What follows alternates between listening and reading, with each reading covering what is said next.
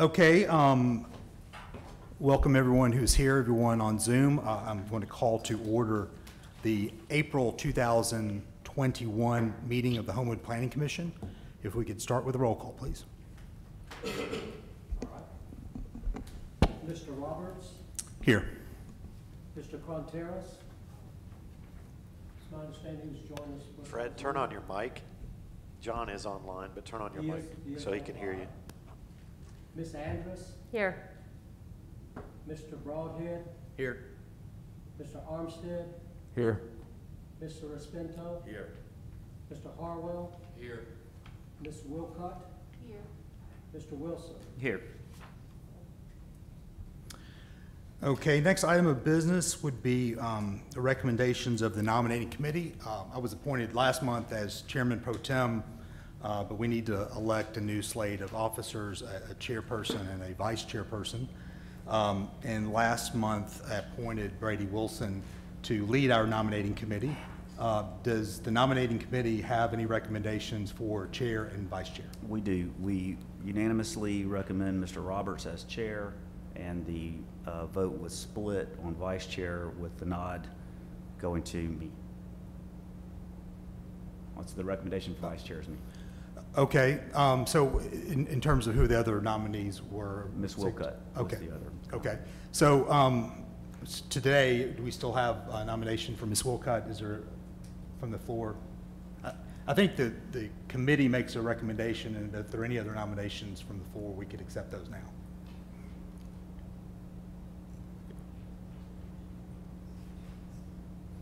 Okay. Um, Fred, just, just so I, uh, the nominating committee had a recommendation or a nomination for Ms. Wilcott, um, but I, I don't hear that from the floor. As of right now, the only nomination I hear is for Brady. Right, as I understand, Mr. Wilson, the nominating committee had recommended a slate of officers for yourself, Mr. Wilson. It was a split vote on, It was, it was a two to one. So the recommendation was for me so, all right. with so- a vote for Ms. so the Wilcutt. Committee's recommendation was yourself and Mr. uh, Stewart, uh, Mr. Roberts.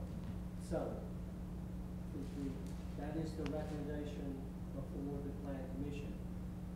What needs to be done, is there a nomination from the floor for the position of either chairman or vice chairman?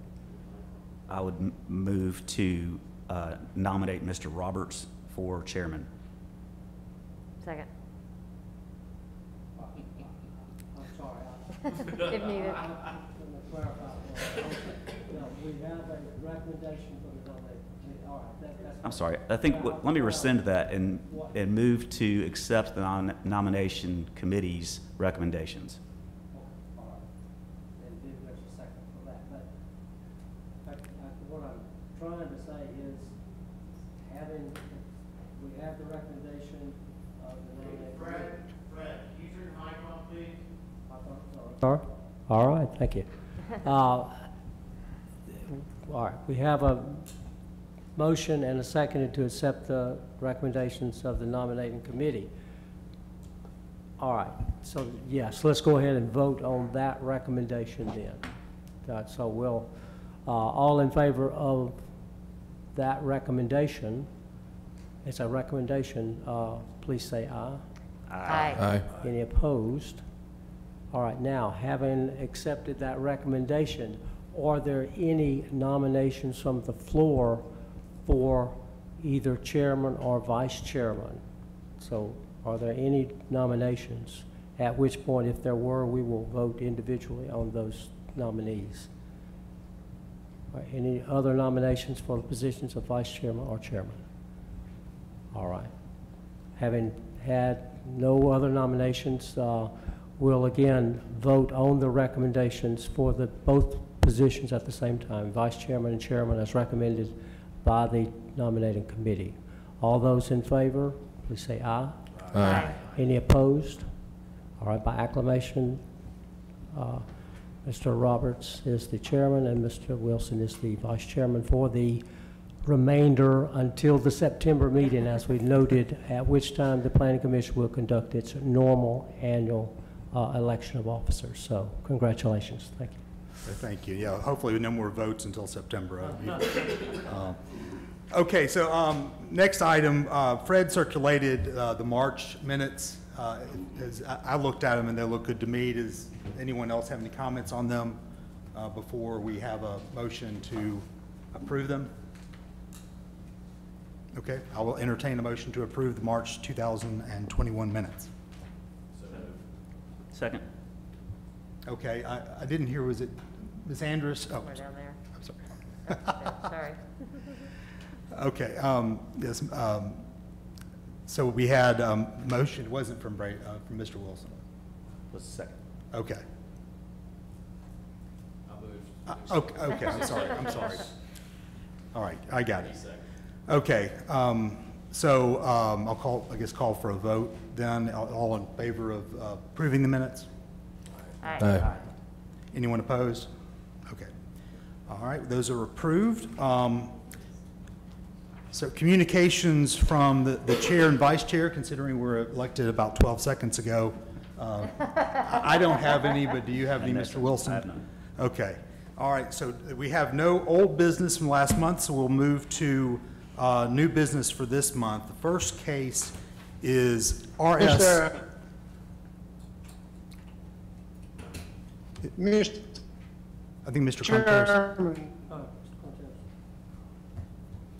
Yeah, his Is- service is going in and Mr. out. Chairman, Uh, Yes, sir.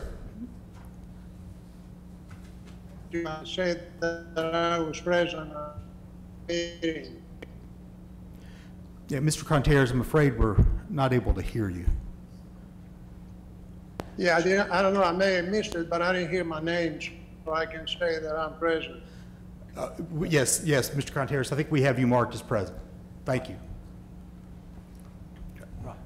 Okay, so the first case is RS 21-04-01, uh, relating to Okay, relating to 260 Oxmoor Road. Uh, The applicant is um, Chesley Payne. Um, If you would come forward and tell us about your case. And this, uh, actually, the first two cases, uh, RS 210401 and RZ 210402, one is uh, a a new survey, a resurvey, one is a rezone. If you could present those at the same time, and then we will vote on those separately. Absolutely. Um, Thank you for having me here tonight. My name is Chesley Payne with Matthew Stetson Nichols. I'm representing the owners of the property located at 260 Oxmoor Road. And Mr. Payne, I'm sorry to interrupt you. Could you state your address for the record as well? Yes, um, the address is 260 Oxmoor Road. Yeah, uh, okay, your, your, your personal address, I'm sorry. Oh, I apologize. My personal address is 220 Pat's Way, Springville, Alabama, 35146. Okay, thank you. Now go ahead and proceed, sorry. Certainly. Okay. Um, Before the Planning Commission tonight, we have filed two applications. The first is for the rezoning of a portion of the property and a subdivision of that property. Um, The current use of the property is essentially an empty former hotel that the owners um, are looking to, number one, demo, and then replace with two separate new developments on the two new parcels, if approved by this commission. Um, The first intended use on Lot 5A, as shown um, in the packet that was presented with the application, um, is a 91,400 plus or minus square foot Class A climate-controlled storage facility. The idea behind it is probably something familiar to, if you've seen these facilities in other um, uh, metro areas such as Nashville or Atlanta.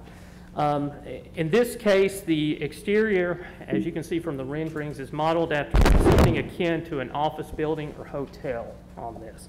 Um, It it will be far more aesthetically pleasing than what is currently on the property, and um, what we think will be a positive addition to the area itself. Uh, The building is going to have is, um, sometimes when people think of these storage facilities, they get a negative connotation. In this case, however, this is not going to be um, a a mini storage or something of that nature. There is going to be um, controlled access to the facility for the employees and those renting space. Um, There are going to be limited hours of access to this facility. There- The exterior is going to be extensively well-lighted, and that is so that everyone um, who comes and goes from this location can have a sense of security. And the owners intend to install cameras both on the exterior and interior of the building in this case. The reasons why we're asking for the zoning change on that Lot 5A is, first of all, the current zoning um, does not allow for the highest and best use of the property. Um, The owners have looked at a variety of uses for this property, including maybe um, redoing the hotel idea here. But in the current economic climate, COVID, et cetera, travel, anything related with travel is not a smart economic bet at this point. Um, There's also um, too much competition in the area, and it also comes down to that according to the owners, um, their own research, Homewood has no true Class A climate-controlled storage facility itself at this point. There are some Class B and C, as they refer to it, type structures, but there's nothing that puts the emphasis on number one, making the exterior as aesthetically pleasing as um, this will be, and the focus on creating a secure environment around the building as well. Um, Obviously, um, the way they are treating this is if the subdivision and the rezoning is approved, is more, it's sort of a two-phase approach. The first phase is going to be demoing the old building that it currently, as it currently exists, replacing it with the climate-controlled storage building. And then on the front, or as I call it the front, on Lot 5B, there is a plan at this point to put there some form of retail restaurant space there. The idea is to attract something unique to the Birmingham area. They have been in talks with several potential tenants, both from a facility lease and/or ground lease aspect. But the idea behind this, it really requires, their, the redevelopment idea really requires both of these parcels to have to be subdivided and have the proper zoning to make this work from an economic standpoint.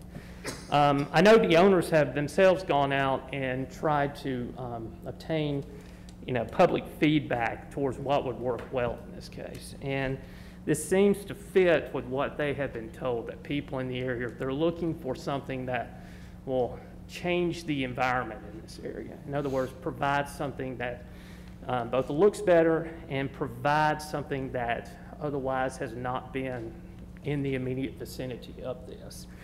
Um, As far as this goes, they plan on moving pretty fast if they are able to get approval on this project. What we're probably looking at is, um, after approval, demo will probably start within one or two months. Probably looking at the demo work to take approximately five to six months. Uh, I try, I ask people to try not to hold me to construction timelines too closely if they can, but that is the general idea, with construction to begin two to three months after the completion of the demo work. Um, At this point, that, I think what everybody's in agreement on, and especially the owners, is that the current structure is not doing anyone any good in its current um, placement and current condition. And the two-phase process that we're trying to pursue there will ensure that property values um, will be greatly enhanced both for themselves and surrounding property owners. And the aesthetics of it will cause the area to look very different after this. Um, It should also, what their hope is at the end of the day, that this plants a seed in this area that can maybe, you know, um, start a trend in the area of other owners looking at their properties and realizing that there may be a way, you know, to improve on what is currently there at this point. Okay, thank you. I think the board members in a few minutes will have some, or commission members rather, will have some questions, but uh, for now, we're going to open up the public portion uh, of this case. Um, We have a group of people here, and we have a pretty good crowd on Zoom. Um, Let's start with the people here. Anyone who wants to speak to the case here will go first. After that, we will go to Zoom. Um, If you could, if you're on Zoom, um, I don't know if you have the ability to raise your hand or, or just maybe speak up once we get to that point, uh, and, and Brian will identify you and we'll, we'll call on you as we get started. Um, But for now, let's start with the people who are present. If you come, once you come up to the, to the podium, uh, give your name, address, and if we could try to keep, limit uh, comment to about three minutes, that would be, uh, that would be very helpful. So.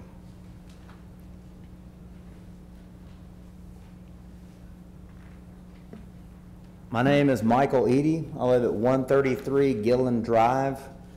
Uh, I'm a Homewood, West Homewood resident. Uh, I'm actually a, now own two different businesses in Homewood over the last six months. Um, so I'm coming to you as both a resident and a business owner in Homewood, and specifically a business owner in West Homewood, one of which has 15 different families from West Homewood that have invested in that business. And I'm here to speak on behalf of all 15 of those business owners. I've also spoken to the business owners of Seeds, Nexus Fitness, and Ash West Homewood as well. And they've all given me permission to speak on their behalf. We see absolutely no negative to a redevelopment of this property into a climate-controlled storage. In fact, at the end of the day, it's very clear to us, there are simply two options on the table. We have an abandoned hotel that has been there for almost a decade. As a resident, we're sick and tired of looking at it. Or we have a redeveloped, climate-controlled storage unit that may not be the perfect option in many people's eyes, but it is certainly progress and it is moving West Homewood forward in our redevelopment efforts. And at the end of the day, there's also the opportunity for additional retail development and other things to come into our neighborhood. And so for me, it is a simple, easy answer. And I understand that there are rules and things and regulations in place, but at the end of the day, I would ask as a resident and a business owner to simply apply common sense and look at this in a very simple way. Block out the fear and the negative things and the negative voices that are out there and the things that have happened in the past. It's time to move forward. And the opportunity is there, and it is a climate controlled storage or it is an abandoned hotel. And so I would ask as a resident and speaking on behalf of some of the other business owners in West Homewood, that we move forward with this, push it to city council and allow those folks to hopefully apply common sense as well so we can move forward. Thank you. Thank you.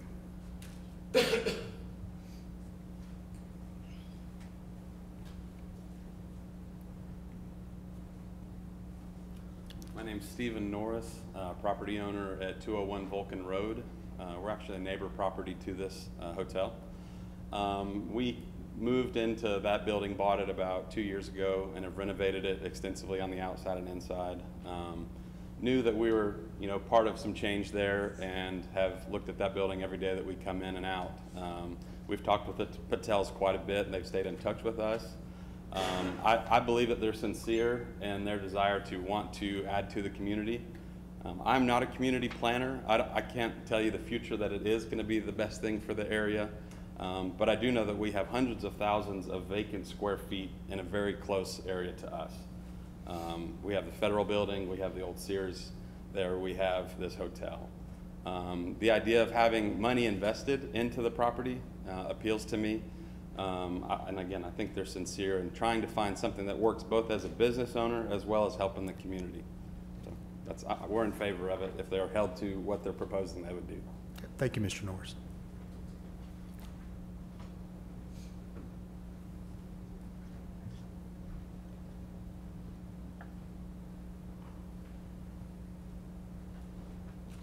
Good evening, Commissioners. Matt Rich, 239 Fairlane Drive, Homewood, Alabama. Uh, So West Homewood resident um, as well, one of those that goes out of Oxmoor and sees this eyesore every day. I come to you tonight as a person that was uh, quite hesitant of what the Patels were, were selling. Uh, The recent um, week, we had uh, a meeting of West Homewood residents at Nexus Fitness. I went there uh, frankly, as a, as a resident that wanted to say, I, I don't think this will be a good thing for us. I heard storage facility, and immediately I had a visceral reaction of just, that's just going to be awful. You, made the wrong decision.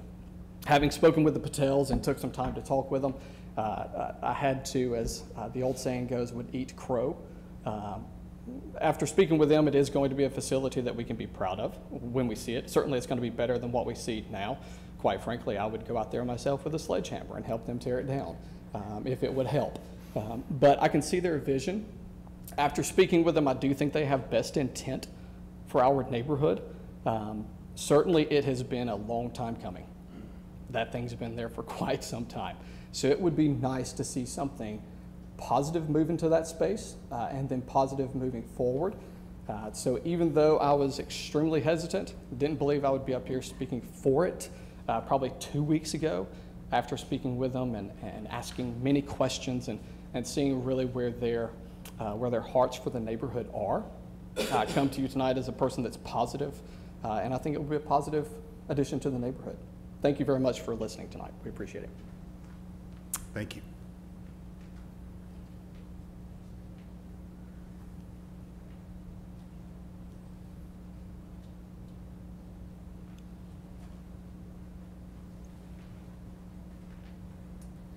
Good evening. Uh, my name is Eric Gibson. I live at 301 Huntington Park Road. Uh, I also would be in favor of this. My daughter goes to Hall Kent, and I come down after dropping her off, and I stare at that building every morning, turning to get on I-65. Um, I don't see anything good from it being there in its current state. Uh, I think there is a better than decent chance that it could spark some much-needed growth and development in that area, and I would be in favor of it. Thank you. Thank you.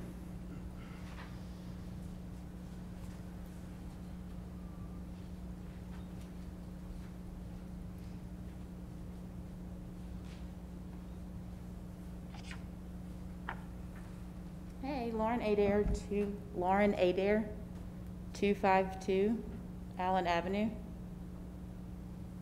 I come to y'all just to let you know that this is a positive, a big positive for our community.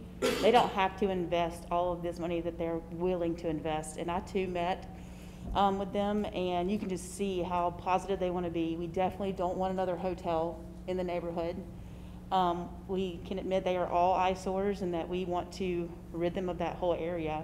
So I think them going this way is a very big positive for us in the community as a homeowner. Thank you. Thank you.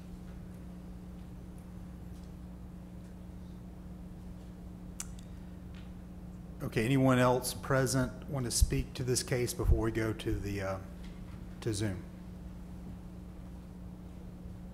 Okay, it appears we're uh, finished with the, the crowd that's here. Um, Do we have anyone on Zoom uh, who's ready to speak to this case?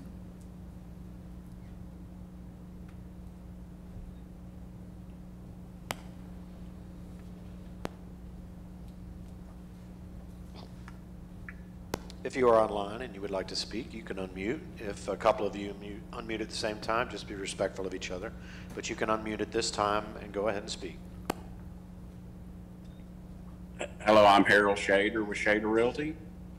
Um, I'm opposed to the development and the change of zoning.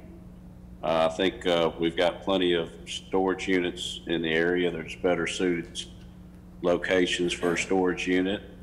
I understand everybody wants to get rid of the eyesore, but I think, uh, we've been waiting for this redevelopment for 11 years now, and I don't think we need to change the zoning. The GURD zoning was intent is, is as it outlined to improve. I don't think this is an improvement. Of course, it improves it based on, it's a new, new facility, but this was, storage facility could be put in any other location, not, not at the gateway of, of Homewood. Um, we're talking about changing a zoning, a spot zoning. I don't think that's right. Uh, if you're gonna rezone the area, rezone all the area to, to, uh, B, B2 or B4.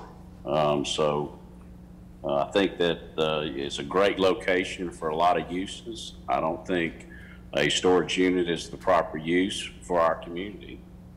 Uh, I know we want a beautiful thing, but I think a three-story structure of this nature right here at the gateway of our community is the wrong decision. We need to think about other uses. A brand-new hotel would be great with, with restaurants, or three different restaurants.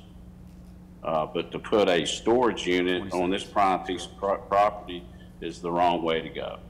Thank you for your time. Thank you.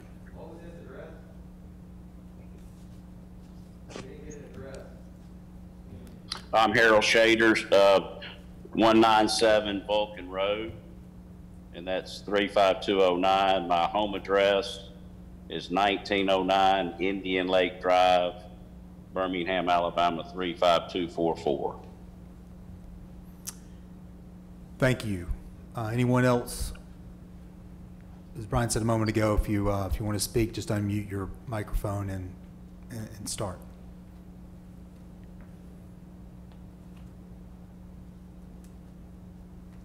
Okay, with that, we will close the public portion of this uh, this case. Uh, Mr. Payne, if you would come back up and we have some questions for you.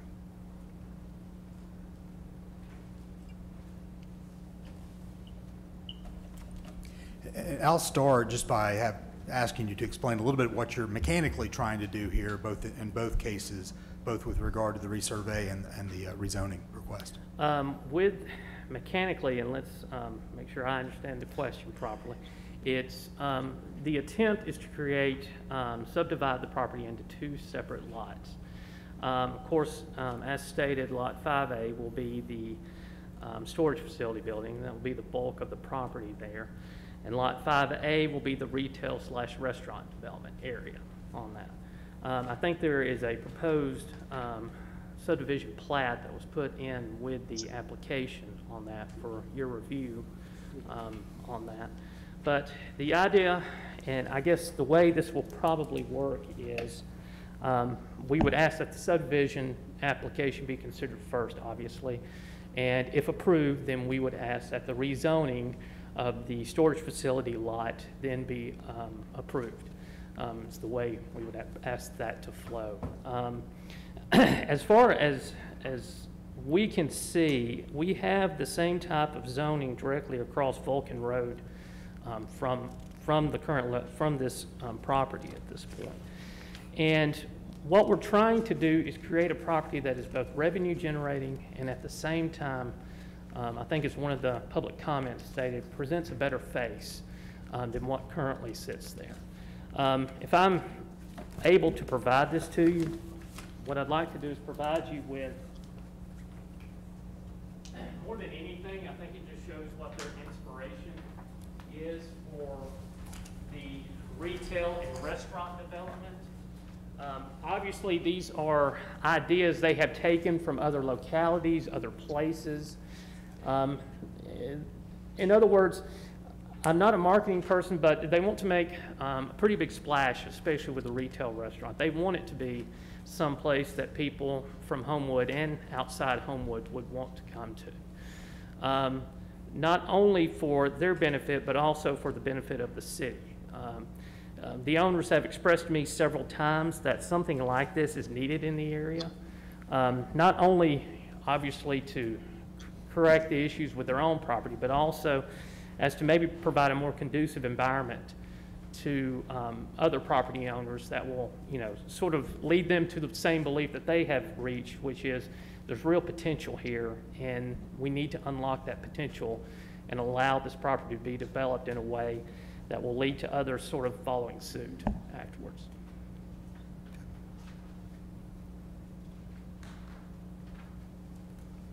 I've got a- couple of questions, if you don't mind, sorry. Um, So I'm going to run through them if if you don't mind. Um, The, I'm a little confused, I'm not sure I have quite, may have, I've misunderstood other uh, points that have been made.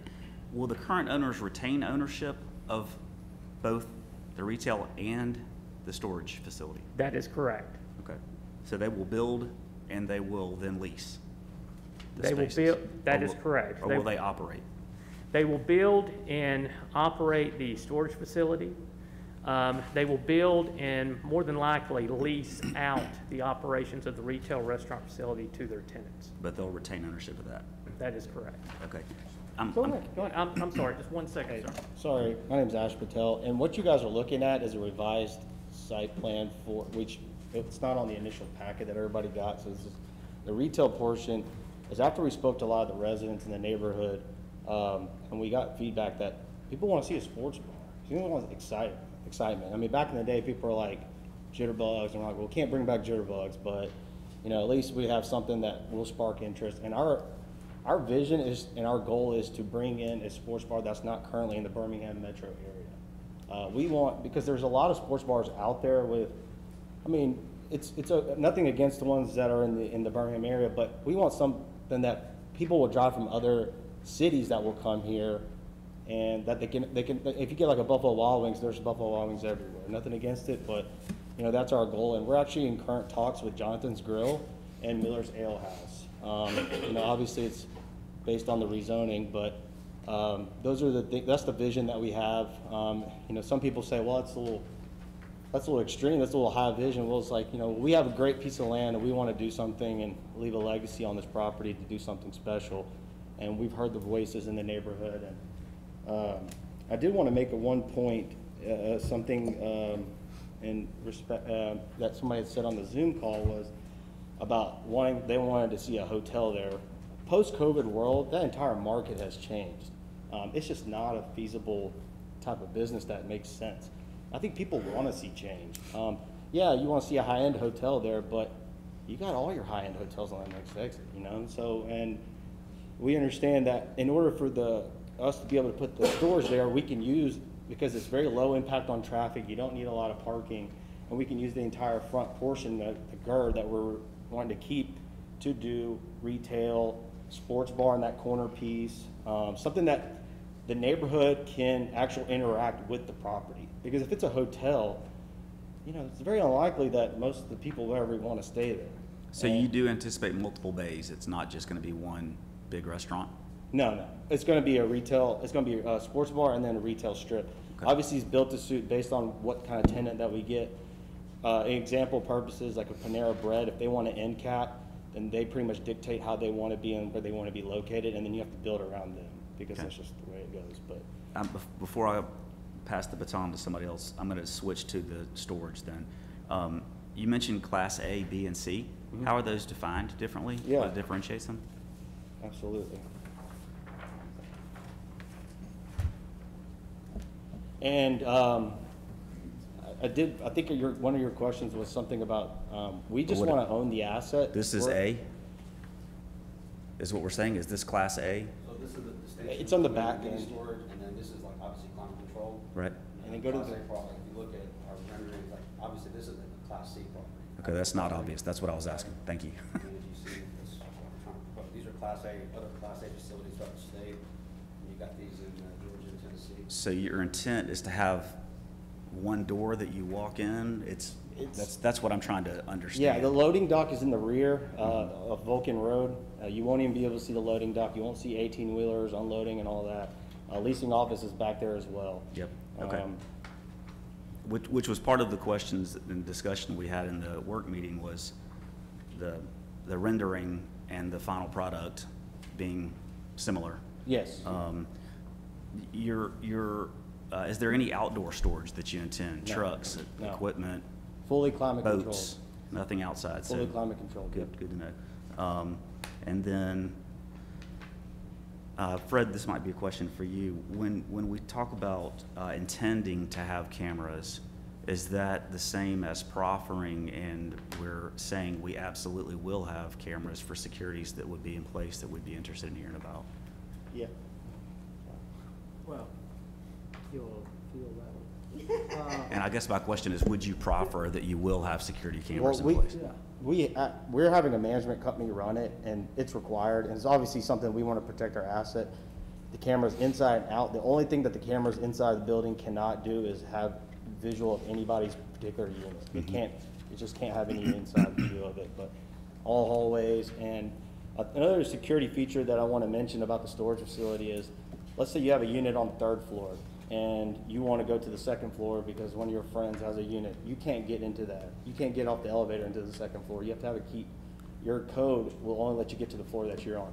Same thing with the stairwell. If you decide you were on third floor and you want to go down the stairwell, you have to take you to the bottom. You can't get to the second floor. You can't even go to the first floor because there's another door on the first floor that you have to put your key code in to be able to access.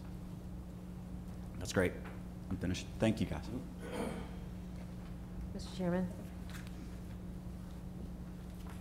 Um, I wanted to ask, how will we know that this property is gonna look like this? I mean, I think this is a nice rendering. and- Absolutely. And, and, um, I have some heartburn over, you know, considering rezoning away from GURD. I know, you know, city councils many terms ago put a lot of work into putting GURD into place.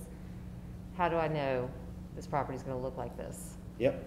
Storage will look like depicted, retail is conceptual, it will change based on what type of tenant that we get. But storage will look like that. Well, you will have to go, the signs, you have, The signs will have to go to council for uh, a sign variance, there's, the- in the number of signs. But the actual facility, Yes. you know, I want to know it's going to look like this. Mhm, Yep, and if anything, we might just add stone to the side, about twelve feet high on the side, just to give it some, give it some accent. Um, that we're gonna, we're gonna go take some options and look at that, but as majority, yes, that'll look like that, but we'll add, we'll be adding some stone or something similar to that to the side, to give it some, some flavor.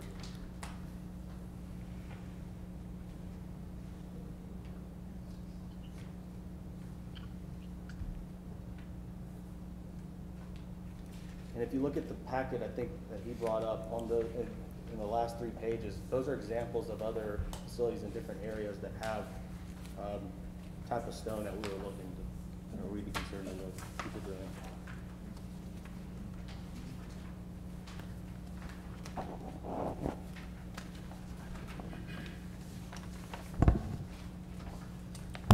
And again, majority, there's an example over here, and I'll show it to you guys. Um, You know, this is in Atlanta, at a marketplace at Terrell Mill.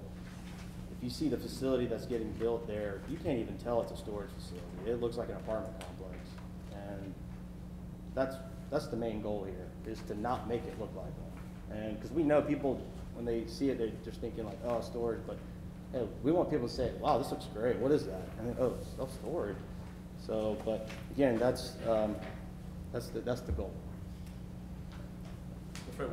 I reckon, my understanding is we're recommending body for this request. We are correct. Is there anything, I think they've done a great job of explaining what they're intending to do, what they're proposing to do. Is there a way that we could add something to our recommendation that would incorporate that they, that we're, if we decide to vote to recommend doing this, we're only doing so if they build it based off these designs and this aesthetic? Is there a way to do that?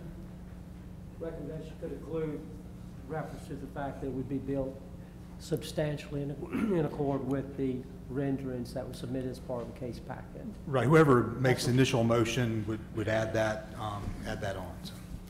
Yeah.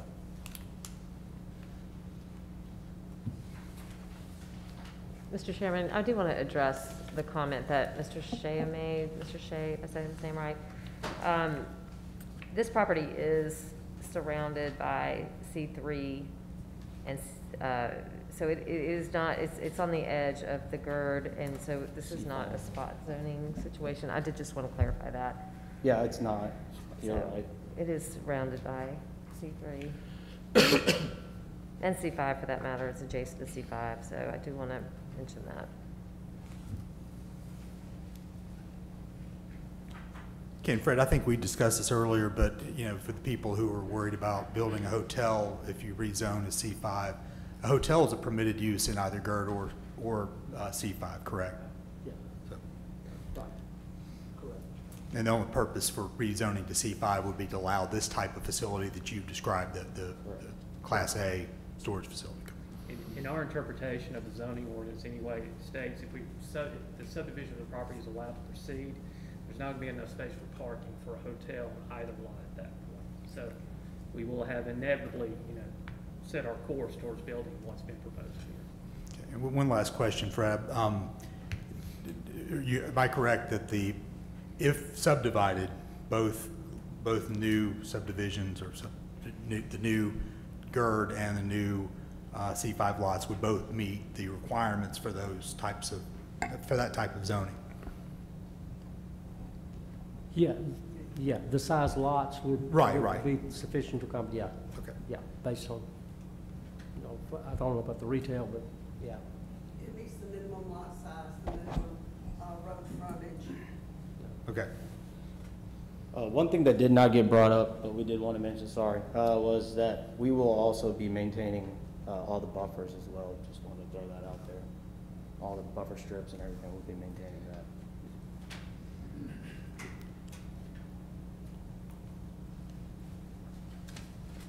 Do we have any more questions from the commission? If not, I would uh, entertain a motion uh, to approve, we'll, we'll, let me back up. We're gonna, uh, as I mentioned earlier, we'll vote on these individually, and I think you requested this as well. The, the first vote would be, or if, if there's a motion, would be on the resurvey, um, and splitting this into two different lots.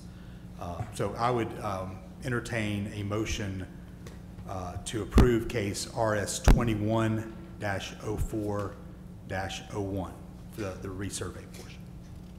Motion to approve RS 21-04-01. Second. Okay, um, Mr. Wilson moved and Ms. Andress seconded. All right. Ms. Andress? Yes. Mr. Wilson? Yes. Mr. Armstead? Yes. Mr. Respento? yes. Yes. Mr. Harwell? Yes. Ms. Wilcott? Yes. Mr. Cronteras? Yes. All right, thank you. And Mr. Broadhead? Yes. And lastly, Mr. Roberts? Yes, so your resurvey passes. Um, And I would also entertain a case, to- uh, uh, sorry, a motion to approve RZ 210402 uh, with further recommendation uh, that any, any facility, built storage facility would be in substantial compliance with the drawings that have been provided in the packet um, that you provided us. I'll make a motion to approve RZ twenty-one 4 2 as stated by Mr. Roberts and including the uh, requirement by contract for your uh, security cameras. I'll second that. Okay, motion by Mr. Wilson, seconded by Mr. Respento. Respento, all right, okay. All right. Ms. Andress? Yes. Mr. Wilson? Yes. Mr. Armstead? Yes. Mr. Respento? Yes. Mr. Harwell? Yes. Ms. Wilcott? Yes. Mr. Cronteras? Yes. Mr. Broadhead? Yes. Mr. Roberts? Yes, so um, that will be a favorable, a 9-0 recommendation uh, to the city council with the stipulations we mentioned. Thank you. Thank you, everyone.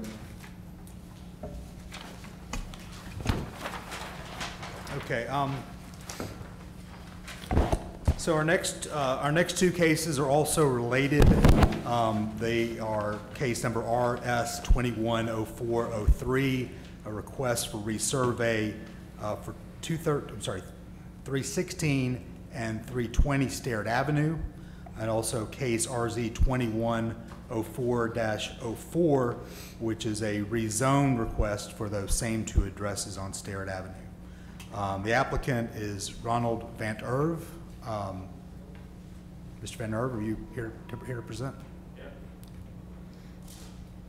And uh, while you're walking up, if- once you get up, just state your name and your, uh, your address, please.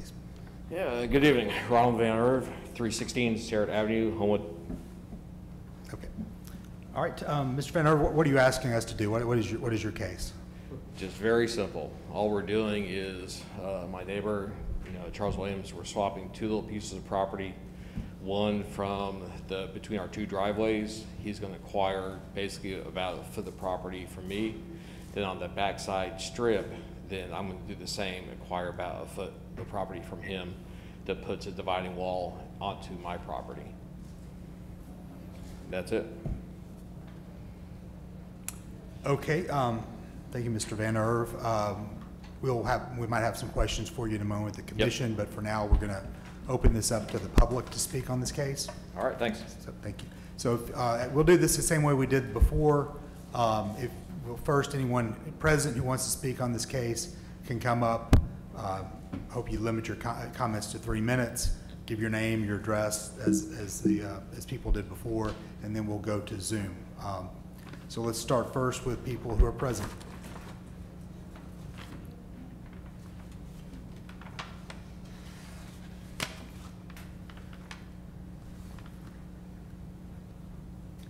My name is Jim Dodds. I'm at 429 Berry Avenue. My wife and I, Julie, have lived at this address for 38 years this, this month. When we moved here to that house in 1983, 316 Sterrett was not there. There was a large tract of land owned by a family in Homewood that had a large house and a smaller house on Sterrett, and the rest was woods. In 1985, there was a hearing to rezone that property to construct 30 homes on five acres of land. And that is when they included 316 Sterrett as well as 312 Sterrett in that property. And we were told at that time those two houses would not impact Berry Avenue. uh, the original owner, Ed Doss, he built a pool after obtaining additional land where there was a vacant uh, right-of-way with the city. He built it with a high fence, and he told us his pool would not impact Berry Avenue. Now, when I read this notice here of this hearing, it really doesn't say much. It's very vague. But the thing that really sticks out to me is a memo from Jerry O'Peary, a surveyor, who did a resurvey, and the purpose was to make an ex existing fence, the revised property line, allowing use of a pool deck up to said fence, and to create an exclusive ingress, egress uh, easement for the use of Lot 2, allowing access to Berry Avenue, an existing public street. That's why I submitted an email to Mr. Goodwin yesterday with opposition to the re reasons for this, along with si signatures from 28 adults that live on our street. There were only two that I did not get because I could not reach them. So that's 93% of the adults living on our street. I feel like there's a safety issue. We have over 20 children on this street. And allowing access to Berry Avenue is going to increase the chance for more vehicular traffic on this dead-end street and increase the danger to our children. Also, if there's access to Berry Avenue from that pool deck, there's a safety issue there of the potential of a child to drown. There's also a space issue. Berry Avenue is not as wide as most residential streets in Homewood. Also, that circle is not wide enough for a fire truck to even come down and turn around. In fact, when they do come, they know they have to back down into Berry Avenue to be able to get out. So that is another issue with this, this street. And finally, the quality of life issue. If, you have, if 316 Sterrett Avenue has access to Berry Avenue and it was to dispose of garbage, trash, um, that is going to be an issue for us because Berry Avenue is not an alley. It's our front space. Thank you. Thank you. Anyone else present here tonight? Okay.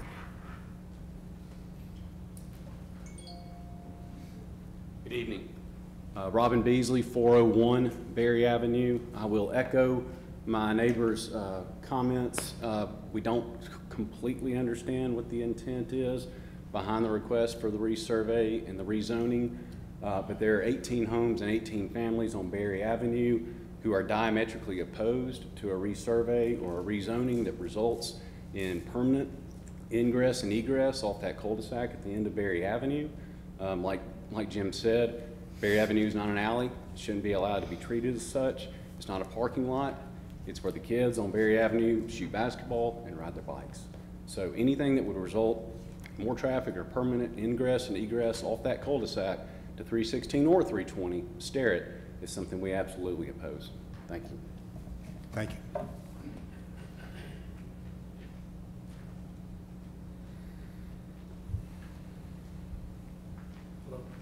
I'm Clyde Walker. I live at 433 Berry Avenue. Um, My property is adjacent to the property we're talking about. It's the closest one on the cul-de-sac. Uh, I agree with everything Jim said. He laid it out pretty well. Uh, I think that everybody on that street is in agreement, everybody on Berry Avenue, just, just understanding that it, whatever decision you guys make is going to affect, and we will live with whatever decision you make on Berry Avenue. But every, every resident, every homeowner is opposing it. Okay, thank you. Thank you.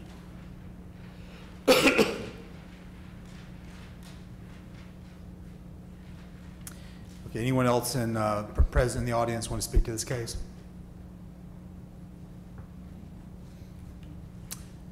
Okay, there being none, let's uh, go to Zoom. Anyone on Zoom, if, if you want to speak to this case, uh, I see a couple hands raised. Let's, let's go to the um, two people with the hands raised, and then we'll go to the unmute, unmuting uh, method. But uh, I can't see the names, Brian, if you don't mind just picking one and we'll go.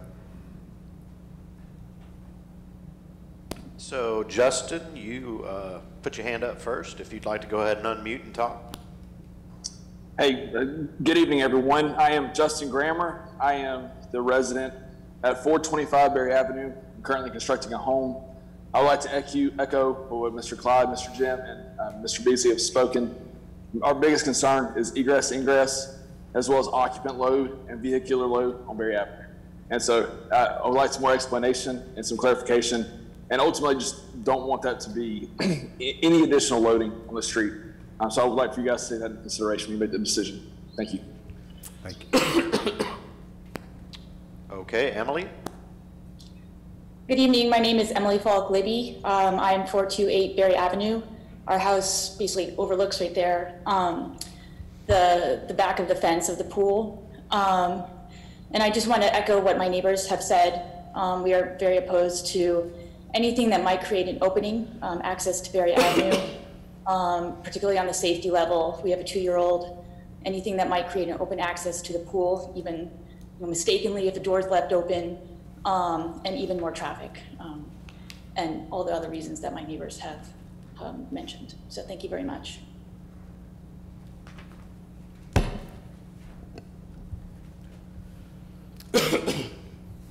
Anyone else on Zoom wish to speak to this case?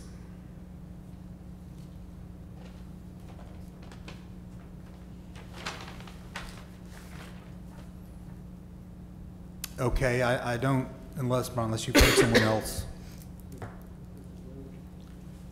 Is someone trying to Williams, Are you speak? trying to speak, Mr. Williams? No. Oh, Yeah. All right, I've got in trouble with the mute. My name's Charles Williams. I'm at 320 Starrett Avenue. Um, and, um, uh, um, there, I'm not sure if there's some misunderstanding about this ingress egress, but I, when I, when I was talking to, to Ron Van Erve about, uh, doing this resurvey, what we were trying to do was, he wanted to get the, uh, some, there's a wall between his, where his pool is and my back lot, backyard. He wanted to get, uh, it's about, I think, two or three feet, uh, over to the wall that was my property. And I said, fine, I never use it, it's back there on the other side of the fence, it's, it's where your deck is for your swimming pool. And, um, but there's a, a section that is about, I'm thinking 12, 13, 14 feet, where his fence ends at the north part of it.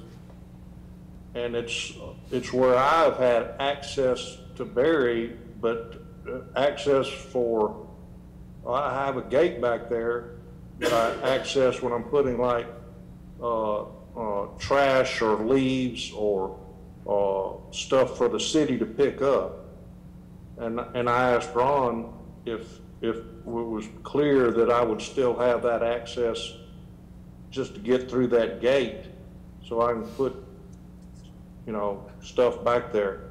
I don't, I don't think Ron is looking for access, ingress and egress, and I'm not sure, I don't think the map says that to his, uh, pool. Um, that's, I, I, I think there may be a little bit of misunderstanding about this ingress egress. Um, so that's, that's about all I know that I can add to it. Thank you. Um, Anyone else on Zoom?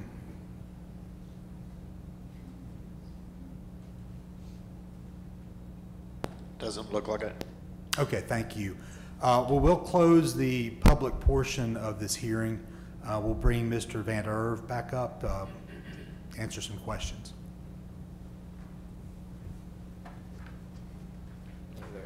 Sounds like there's a lot of questions to answer.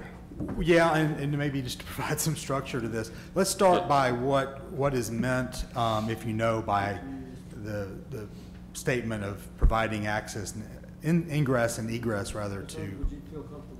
Oh, sorry, a yeah. note So we can hear you better. Thank, thank you. There we So if you could address the ingress egress situ, issue that's being raised by the, by the residents on Berry. What it is, is actually behind my fence, and it's actually my property, there is a little cement rise that gives Charles access to go into his backyard. And it's been there for 30, 40, 50 years.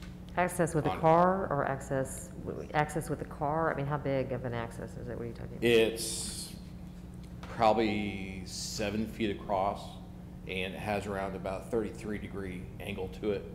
You know, going up. Literally, if you tried to put a car in there, you'd bottom out your car.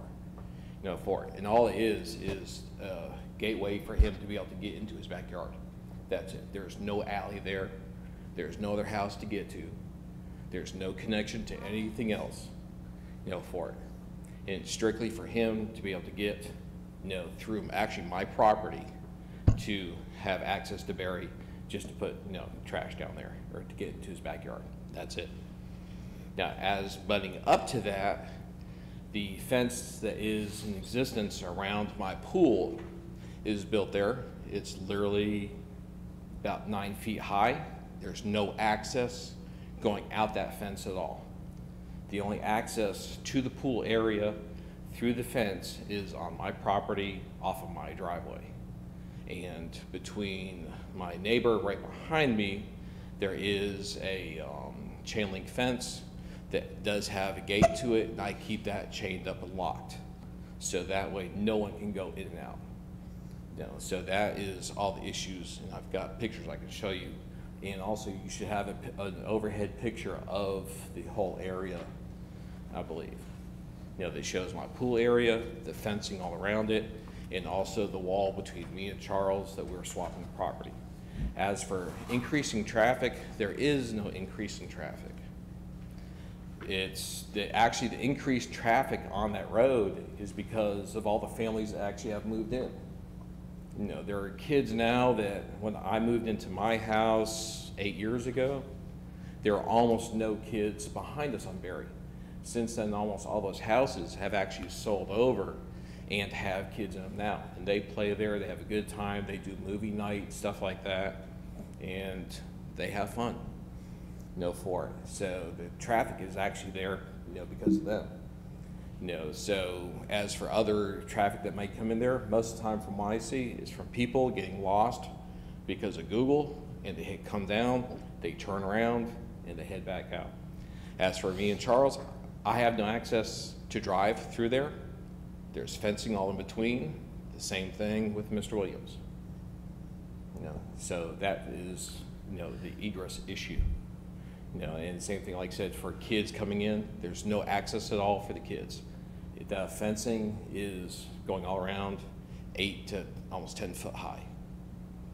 So, so I guess in other words, nothing is changing with respect to access, ingress, egress to. Nothing that to has. Either property. Nothing that's been there for, like I said, 30, 40 years. You know, it's been, it's been the same way this whole time.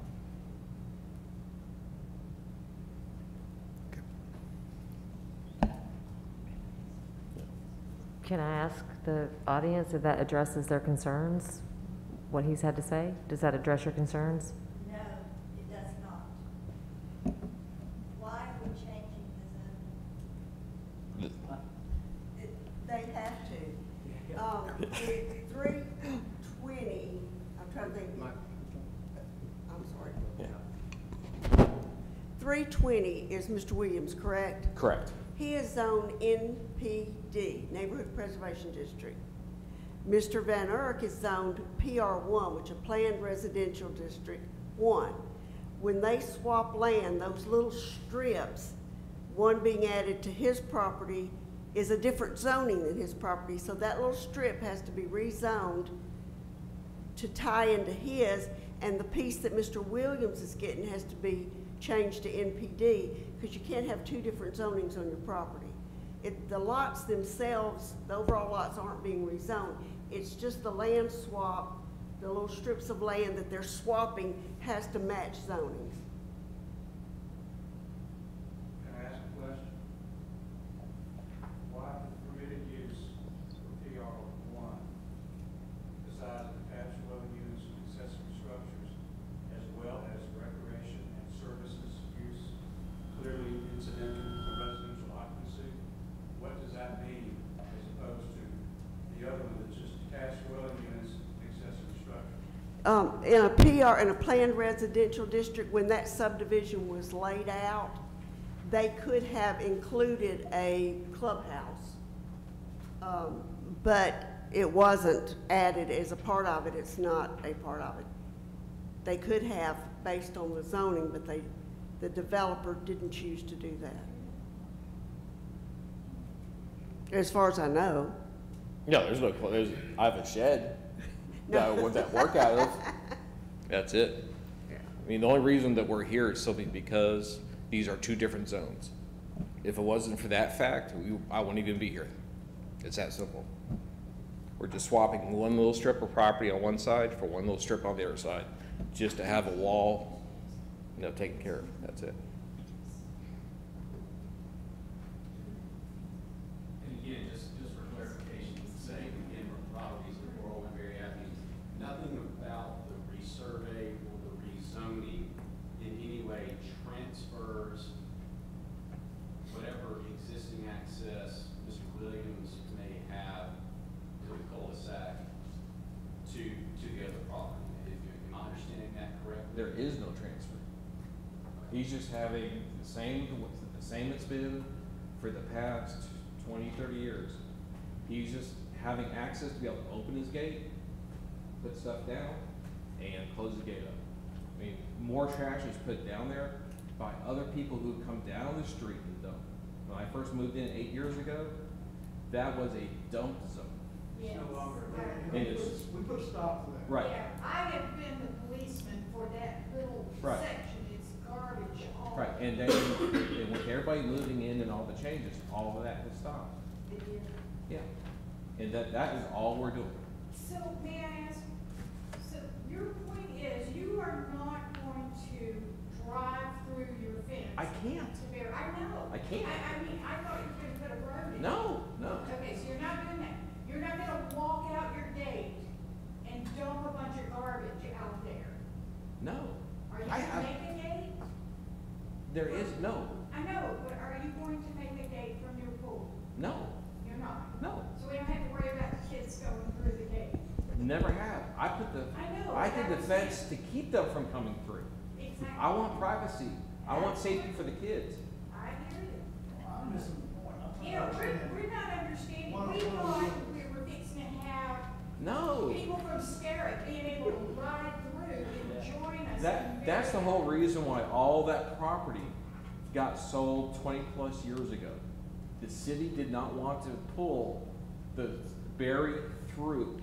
And so what they did was they offered all the property owners of those four properties by, divide it how you want. However you want, divide it up, we're gonna, we're not gonna pull the street through. And that's how Berry became a cul-de-sac. Actually, the, at one time, the right-of-way went straight through to Yeah. Starrett. You've been there thirty-five. Yeah, so you know, the city Actually, vacated it. The right of way goes over my driveway. No, it's that, it's that simple. But when those properties were sold, Ed Doss, who used to own my property, he got the majority part, everyone else split those little pieces up, and they, and the city closed it off. Mr. Van Erve, There is no access. I just wanted to Thank mention, you. this was, when I walked the property today and spoke to you, I'll tell you the, everyone here what I said to you. What's in it for you? So if I'm thinking like a resident, I'm looking at this application and I'm thinking, well, why would he want to do this? What's he, what's gonna be his benefit to having this happen? And it sounds like that's exactly everybody's thinking, something's gonna happen here. What's the, what's the secret? What's, what do we not know? End, end game is simply moving the wall. Chuck and I have, there's two walls there. All we're doing is splitting one wall to him, one wall to me. So that way, It's very simple, privacy on the pool area, that's it. So it's just a zoning issue? It's a- not- that's a- It's not, It's not even zoning on the back. That's not even the issue. else. It's the tiny strip in the front that's being changed. It's nothing else, it's strictly because it's two different zone properties. And we found that out by mistake. Actually, f- you know, Fred and Vicky found that out when, because all this was supposed to be taken care of a couple months ago, and they were like, uh, guess what, we have a little problem. We're two different zones because of two different age properties, and that's it. Can I ask the question again? Does that, does that, do you all feel better now about what you're hearing? Does that change anything? Because we were promised that that property would never impact Berry Avenue. So if he gets his gate, I don't have a No, gate. no, ma'am, there's, a- the only gate is the gate that's there today. all right. What about when he sells it and the next person moves in and decides, I'm gonna use that gate? There is no. I'm gonna park my car on Berry Avenue and go in my gate and, um, use my pool. My friends will park on Berry Avenue and go in my gate and use my pool. Y'all can't see how small that circle is. There's, the gate doesn't open to the pool. There is no gate there. Why do we an egress? For, so Mr. Williams, who will no longer own that gate, can walk, it technically, it's so he can legally walk across the grass and put his, um, grass clipping or whatever he puts out there, uh, like he's been doing for the past thirty years. Well, truly in Homewood, you're pu- supposed to put your trash in front of your house, not in Which he does. I know, but you see. And I do. When y'all leave, and the next person comes, it can be a garbage dump. Well, they can't legally do that. Yeah. that's what we call the law. That, that's, that's a, that's a legal issue. That's, that's not really what's in front of us right now. I, I appreciate your concern, but that's really more of an enforcement issue than it is a zoning issue.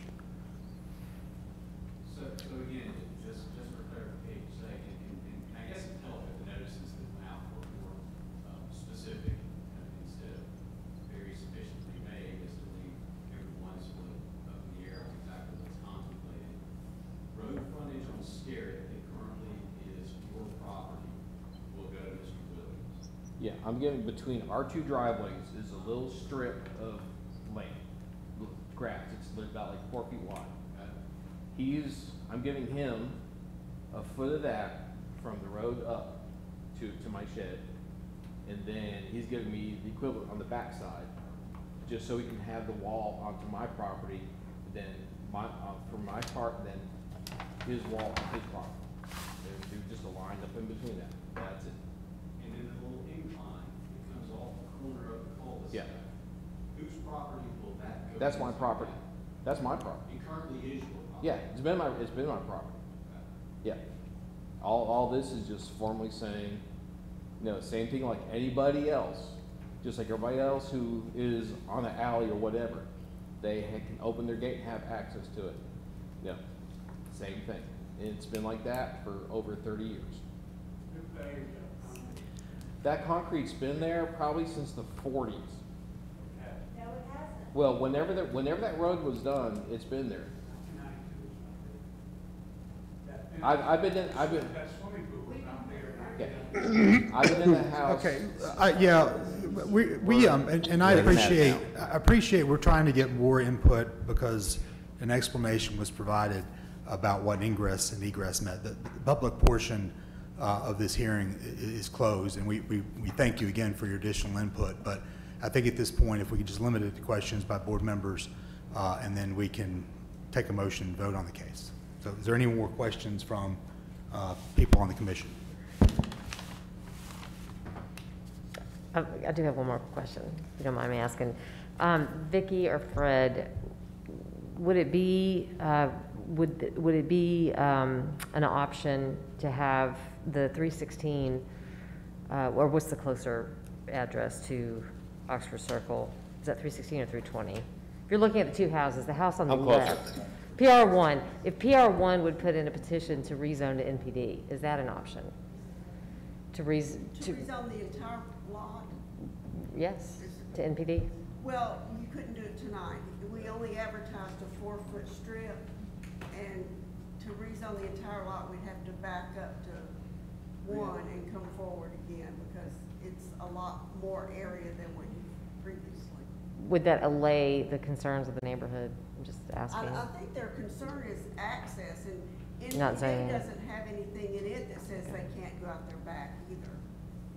You know what I'm saying? It, it isn't unlike, it- like Fred was saying, an alley that goes behind it that's a right-of-way, a city alley, and this is a city street. So it, I don't think it would make, give them a different comfort level to, um, for the whole lot, because there's nothing in NPD that would, that says you can't use both of your. So I don't think that's gonna help anything.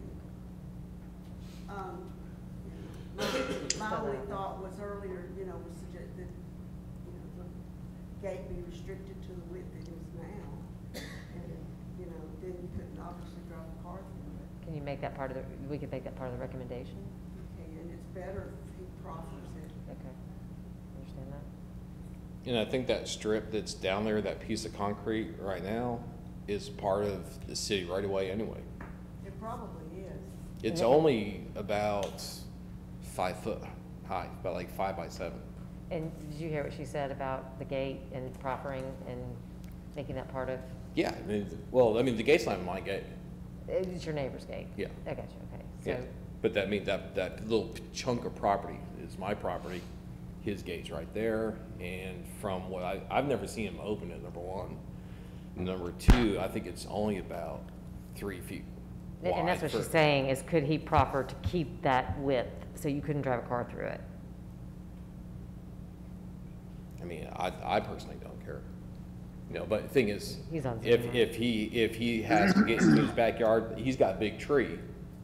And if it's gotta be taken down or any work's gotta be done, you know, then a truck will need to have access, you know, in that area. Or let the fire department have to have access to go into the backyard. How is that gonna happen? I don't know how the other, the 320 resident could proffer for Mr. Van Erve, who's the applicant, technically. Right, so- He- but he, he's the one that's on Zoom, right? He's the. Right, at 320. That's what I was getting at. I apo- And I Oh. was confused with who had the gate, that was my, con- that was my fault. Tell me again what it is that you're asking. If you would consider proffering to keep the gate at three feet width, so you couldn't drive a car through it? Um, the- the, uh, the gate is, is three feet now. I don't have any intention to, to, uh, make it any wider. I, I will make it, uh, or, or just say that, uh, and I think I had talked to Ron about this. In the past, I had a wider gate and I did have a tree company come in. I mean, this was probably 20 years ago. A tree company had a truck that came in to take out a tree in my backyard. Um, but that gate right now, it's, it's a wooden, uh, you know, then I took down the chain link fence on the full length of the back and across that little, uh, stretch, which I think is about 14 feet, 13, 14 feet wide, but the, on- the gate is only three feet wide. And when I built the wooden fence, that's all I wanted was something that I could open up, take branches out, grass clippings, leaves, stuff like that. So that's, uh, that's all I would want is a three-foot gate to get out and put trash out there.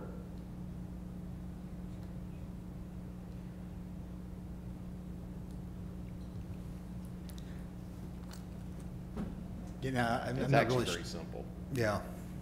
You don't have a gate. Would you proffer that you would not put a gate on the back of your property from, to, to?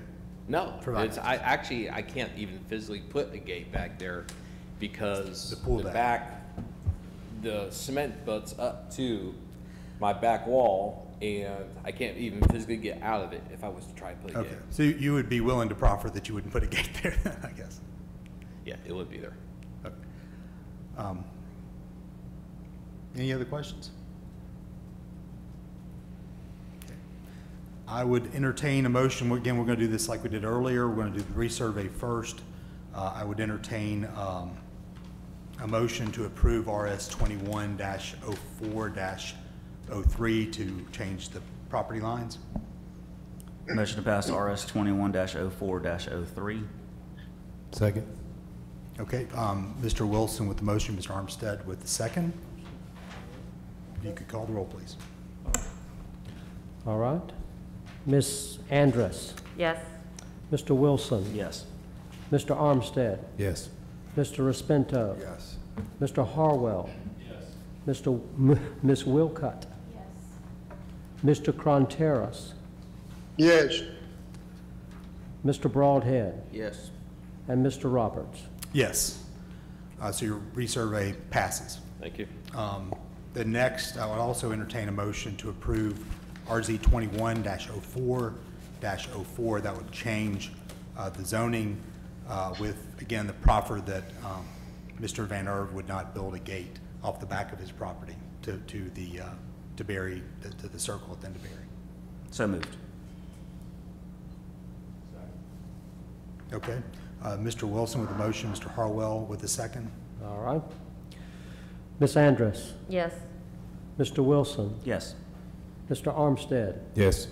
Mr. Respento? Yes. Mr. Harwell? Yes. Ms. Wilcott? Yes. Mr. Contreras? Yes. Mr. Broadhead? Yes. And Mr. Roberts? Yes. And that will be recommended uh, on a nine to, nine to zero vote to the uh, city council. All right, thank you. Thank you. Right, for, for the benefit of the uh, citizens in the audience, as Mr. Roberts indicated, this will be going to the city council, the zoning part, not the subdivision, but the rezoning will go, and there will be another public hearing before the city council, and you will receive notification of that public hearing. So, again, if you wanted to make any comments to the city council, that would be your opportunity to do so. Thank you. Okay, well, that concludes our new business. Um, I- As I mentioned, as we were coming out, I was uh, going to raise one additional issue of old business. It has nothing to do with what we've talked about tonight, Uh, specifically the, uh, the case presented by the city uh, back in February of 2020 uh, to approve Article 8, which would be a new article for the zoning ordinance uh, for a downtown, new new downtown zoning plan um, back in February of 2020. Um, Ms. Henderson, Susan Henderson from Placemakers, uh, presented the case on behalf of the city. Uh, We then opened it up to uh, public comment. Uh, That was held, I think we had about a two-hour hearing, all of which is available on YouTube. Um, And then uh, we, uh, as a, as a commission, voted to table the case um, for further consideration and further discussion. Uh, We're now 14 months later, um, and uh, I don't believe any additional uh, discussion has been had, or if if it has, I wasn't aware of it. But I thought that, um, given our obligations as a commission to follow the the requirements under Alabama, uh, under the Alabama Code, specifically the provisions uh, that create the planning commission and give us our, uh, our obligations and duties. Um, It te- tells us what we can and can't do and what we must do. Issues related to rezoning, the statute's very clear that we shall provide a report to the city council. Uh, We listen to the case, we provide a report. Uh, We tabled the case, we have not provided our report. I I believe we have an obligation to do so. Um, So in a, in a moment, I'm going to ask for a motion to untable or remove from the table uh, the downtown rezoning plan uh, first heard in February uh, of 2020. Uh, My thought would be that if it is removed from the table, we would have uh, over the next month, the members, the newer members of the commission, I think we have more newer members than old members at this point, would have an opportunity to listen to the presentation by Ms. Henderson, uh, listen to the public comments, um, and then, uh, and based on that information plus the actual application, uh, decide whether they are comfortable voting on that case. We'd call, we'd add it to the agenda next month, and then have a roll call vote uh, to approve or disapprove, uh, recommend or not recommend to the city council uh, the new zoning plan as it has been modified uh, over the last couple of years. Um, So, and again, the, the public portion of that case has already been heard, so it would simply be a voice vote, uh, roll call vote by the, by the commission members. So with that said, I would entertain a motion uh, for- the, uh, the case, the downtown zoning case, it doesn't have a specific number, uh, but the one that was heard back in February of 2020, uh, to be removed from the table and brought back up for consideration by the commission. Mr. Roberts, I'd like to make a comment for public record prior to the motion. Certainly. And that record, or that, that comment is the, uh, I'll speak on behalf of a couple of the prior planning commission members who are no longer members, and obviously not for you or for Mr. Contreras, but um, the uh, disgust and intent of the table at the time was for uh, adequate time for the city to have uh, conducted, paid for obviously, and had a uh, uh, traffic and parking study done after the operation uh, commenced of the new hotel development. The study has been completed, and the hotel is only now operational. So, um, in defense of the idea that we were waiting for something to be done uh, up until the recent um, reelection, I'm sorry, or turnover on the commission, um, that was part of the motivation in that uh, delay.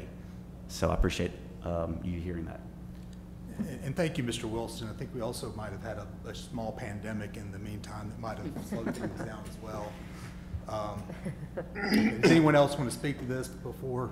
Yeah, Mr. Your Chairman. motion? I guess for- someone who is new, who doesn't have the history of being able to go through it, I may suggest that we um, have public hearing or have a comment session during the next meeting and then have the vote the following meeting. That way we have two months to, to- to get our hands around the actual information, that people have said, what's, what's being offered.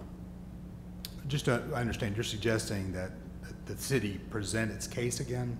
Well, at least for the benefit of, at least for me, that hadn't had the opportunity to see it, I need to, to- understand it. But to me, having two months to do so as opposed to one month would give me more, more time to understand the issues and also to hear from uh, citizens that may have opinions about it one way or the other. Um, no, I appreciate that, and thank you, and, and that certainly, I, I certainly understand, um, the need for, especially the new members of the commission who weren't, you know, didn't hear this two or three times as it's come through a few times, uh, to understand it. Um, I guess my response would be, we, we do have a two-hour public hearing with a, a fairly substantial presentation by placemakers, and then comments from, I'm, I'm guessing, thirty or so members of the, of the public at that hearing. Um, and we, we'd actually concluded that part of the hearing, and the case is actually ripe for a vote. The only reason the vote didn't happen is the case was tabled. Um, At least my suggestion would be, take the time and we can provide the materials, um, the, the application itself, uh, the, the, the plan itself, what it would do to the zoning, uh, and then the, obviously the video of the meeting, uh, would hopefully provide the information sufficient for people to make a determination. And our our determination, our recommendation might be nine to zero against. Um, But if, if that didn't provide enough information, my thought would be that if someone didn't feel comfortable voting, that, that perhaps they could abstain. Um, But just reopening the, the case, I don't think is something that's on, on the table right now. Um, Mr. Chairman, can I ask a question? Yeah. The, the, um, public hearing that you are referring to for them to watch, is that from November of 2019? Um, There, there were, there were multiple hearings, and I don't know, I know the last one was the first, the first week of February of 2020. Okay. The, the reason I ask is because the changes that were made from the council in December, and I wanted to make sure that that was considered by everyone that's new, that, that we have crystallized in place um, 18th Street from 28th to Oxmoor and 29th from 18th to 19th. And so I just want to make sure, if you go back and watch the November Planning Commission public hearing, that change was made after that.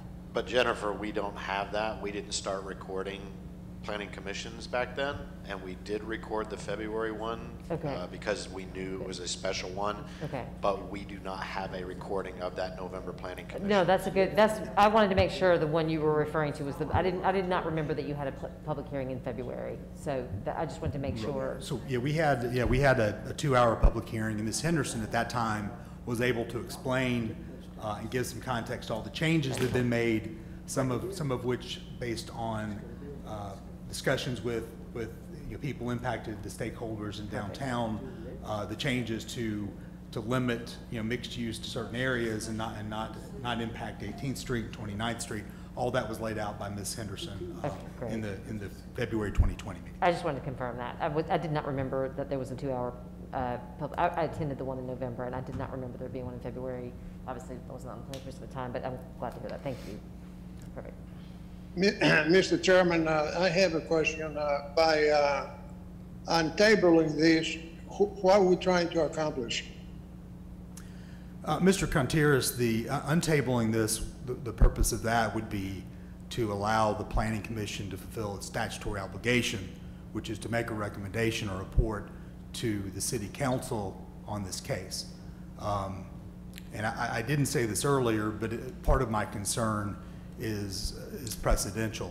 Um, I don't think we as a body, uh, especially on cases in which we're a recommending body, not a, not a final decision-making body, uh, that it's a bad precedent for us to, and I'm not saying this is exactly what happened here, but, but to, to table things we don't want to get to the city council for whatever reason.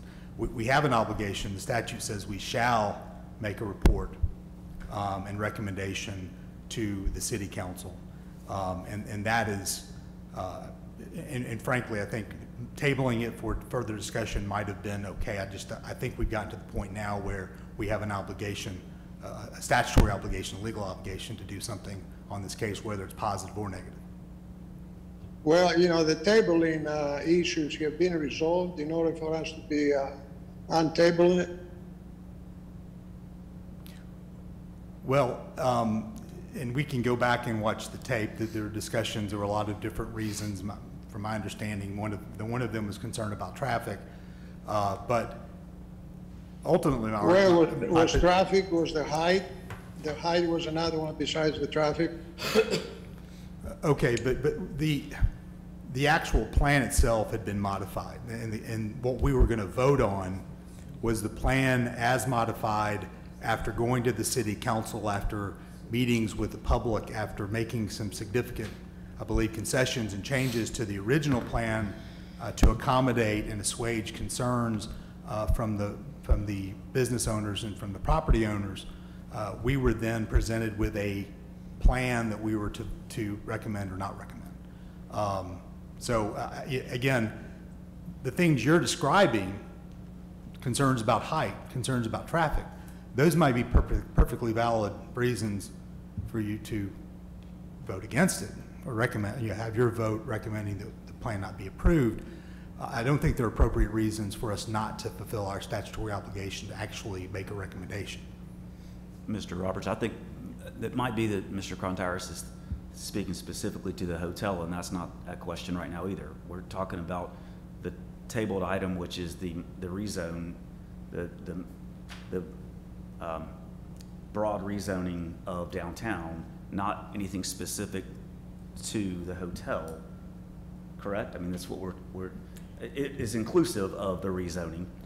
I mean, The the hotel is located in the zoning. Right. In the area impacted by the zoning. Right. But the zoning plan has no impact on the hotel. This doesn't have anything to do with the operation of- that- of the That hotel. cake is Right. pretty much cooked at Yes, this sir. point.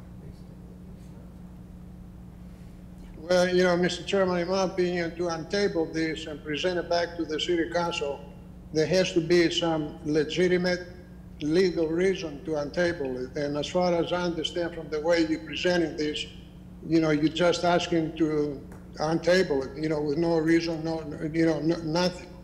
And, uh, you know, you know, in my opinion, uh, you know, I I think there needs to be more discussion about uh, what's the reasons to untable it, and, uh, and then decide whether it has to be uh, changed and go back to the city council. Because when it's gonna go back to the city council, it's gonna approve what we disapprove. Uh, Thank you. You know, that, that's, that's, that's my opinion. Thank you, Mr. Contreras. I think, um, I, I think the, the point, I guess, the underlying point or overarching point is that tabling this indefinitely, I believe, is a violation of our obligations. We're acting outside of our statutory authority to table it with, with no end game, with no end in sight. Uh, We're 14 months later, again, we've, had- we've had a lot of things happen. We've had a global pandemic, we've had Zoom hearings. We've continued to do our business, though. Uh, a- And ultimately, um, you- you've cited reasons you don't believe it should be untabled, and that's certainly your right to vote that way if, if there is a motion made. Um, No, I, don't- I don't, I, I don't say that it's not supposed to be untabled. I'm saying that what is the reasons to be untabled? If the reasons to untable are valid and legitimate, you know, there is no problem. I don't have no problem. But just to say we will untable it, you know, I, I don't think that's right.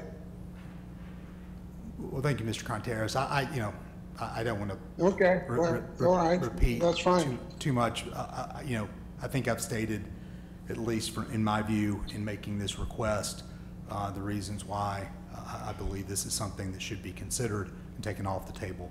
Um, And certainly reasonable minds can disagree on that point. Um, Okay. And with that said, I would entertain a motion uh, to remove from the table uh, the downtown rezoning uh, case last heard in February of 2020. So moved. Okay, is there a second? I'll second it. Okay, we have a motion from Ms. Andress uh, and a second from Mr. Respento.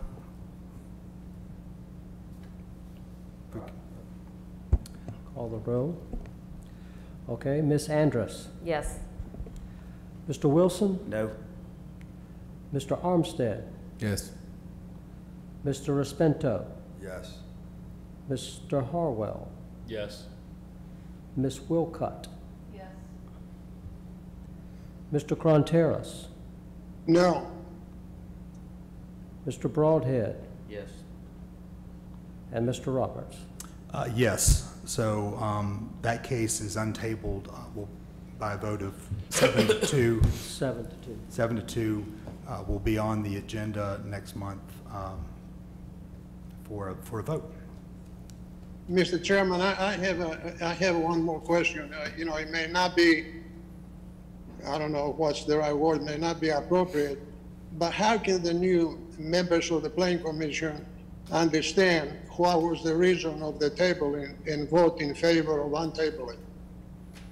And thank you again, Mr. Contreras. I- We have a two-hour video that I will make available that's on the city website uh, that, that uh, captures the entire meeting from, no, uh, from February of 2020, including Ms. Henderson's presentation, um, the public comment, and then the discussion by the commission members that ultimately led to the vote that we, uh, to, to table the case. So I think that should provide sufficient information uh, for the members, the new members of the commission to understand, uh, at least understand the reasons why that vote went the way it did, or the reasons why the proponents of tabling it uh, voted the way they did. So I think, I think that information is available. should we wait for them to review that before they can vote tonight? Well, that, that is again. Point of order, it's been passed. Okay, yeah, it's, it's, yeah, we, we have passed it, uh, it's gonna be on the agenda next month. Uh, they'll have a month to review the same information uh, we were privy to, um, fourteen months ago, and it'll be, again, on the agenda, uh, for us to, to vote on uh, next month. And, um, I have nothing further, unless someone else has something, uh, I would entertain a motion to adjourn. So moved. I'm sorry, I was talking to. Okay, so Mr. Who made the motion? Mr. Harwell made the motion, Ms. Wilcott, I believe, made the second. Okay. All right. All in favor, say aye. Aye. All right. Thank you, adjourned.